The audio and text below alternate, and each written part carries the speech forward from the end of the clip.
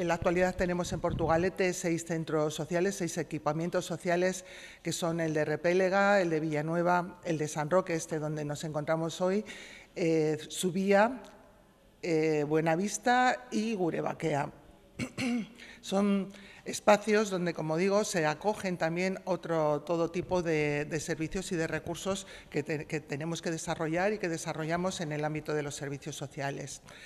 Es cierto que eh, una de nuestras prioridades son las personas mayores y, de hecho, eh, son el, mayor número de usuarios y usuarias en los centros sociales. Cerca de 3.000 personas acuden eh, diariamente a las actividades que se programan dentro de los cursos de programación de talleres y de actividades mensuales y también después hacemos actividades puntuales en, programaciones especiales como pueden ser la de Navidad, la de Semana Santa o la, o la de verano.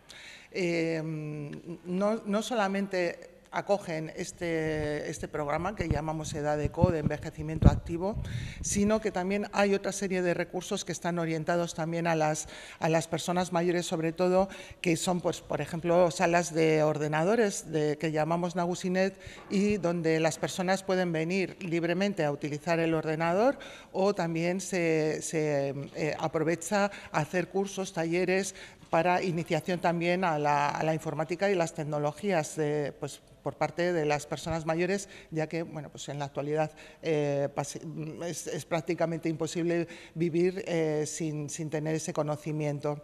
Además, también tenemos eh, programas de activación social para aquellas personas que, por el motivo que sea, por fallecimiento o por cualquier otra circunstancia, han podido quedar aisladas de su red, su red social se ha, desaparecido, no tienen seguramente mucha familia, etcétera, y entonces sí que también también eh, tenemos programas de activación social en ese sentido para esas personas que se quedan retraídas en su casa y que no quieren ya o no tienen esas ganas de socializar. ¿no? Entonces, bueno, pues tenemos equipos de pedagogos y de psicólogos que acuden, escuchan a la persona y la acompañan y la, animan también a socializar, a venir a los centros sociales y eh, estar con otras, con otras personas en, en actividades. Además, acogen también los centros sociales pues, el Centro de Promoción de la Autonomía, el Centro de Día, que van destinados y orientados a personas más frágiles, personas mayores más frágiles, ya con eh, cierto grado de, dependencia y que requieren de unos cuidados y de una atención especial. También es cierto, y esto lo hemos venido detectando a lo largo de estos últimos años, que los centros sociales están eh, acogiendo también a personas, a una generación de personas mucho más joven. También tenemos, por un lado, una generación de personas mayores con, que requieren esos cuidados y esa atención más especial, pero tenemos también personas que recién jubiladas acuden a los centros sociales como un espacio idóneo y donde encuentran también pues, eh, amistad, actividades, eh, fomento también de, su bienestar físico con actividades físicas, etcétera.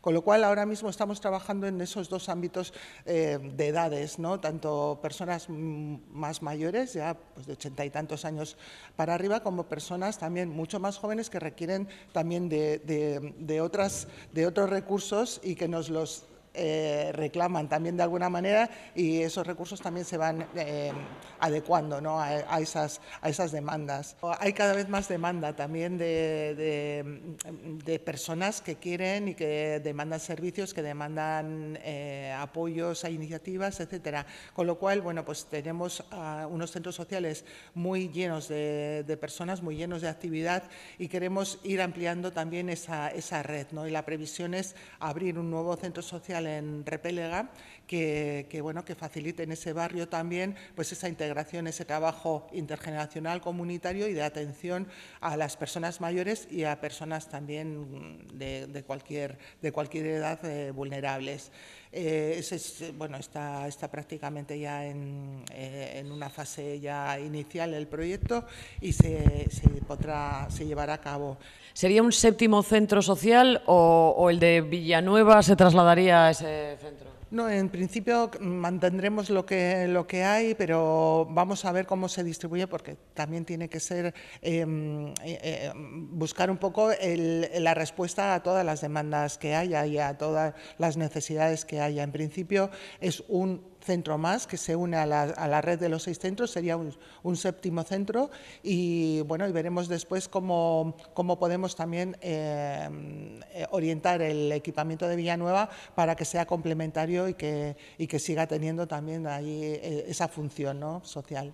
¿Se construiría un edificio nuevo? Si es así, ¿dónde? ¿O se va a aprovechar algún otro edificio que haya en Repelega? Eh, bueno, la, idea, eh, hay dos posibilidades. Vamos a ver cuál de las dos es la más, la más viable y tendríamos una, una, posibilidad en un espacio que ya está construido y si no, bueno, pues tendríamos también el espacio adecuado para poder eh, montar desde cero y construir desde cero el nuevo equipamiento. Todavía eso está en proceso de reflexión. Sí, no quiero avanzar eh, porque bueno, hasta que no se cierren las cosas es mejor ser un poco prudentes, pero sí que, que va a ser una realidad porque, porque hay dos posibilidades y cualquiera de las dos va a ser buena.